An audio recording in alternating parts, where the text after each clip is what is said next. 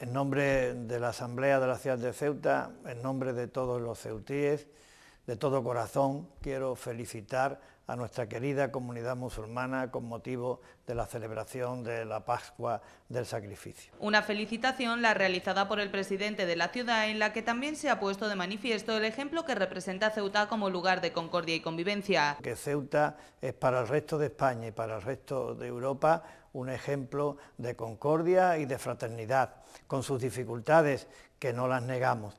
Al margen de la felicitación realizada por el Gobierno, formaciones políticas como el Partido Socialista, Caballas o el Movimiento por la Dignidad y la Ciudadanía también han querido felicitar a los musulmanes ceutíes por esta conmemoración. Buenas tardes a todos y a todas. Desde Caballas os deseamos un feliz Eid al-Adha, Eid Mubarak Said. Aprovecho para desear un Eid Mubarak a todos los ceutíes, a toda la población de Ceuta y para daros las gracias nuevamente por haber venido a esta cita.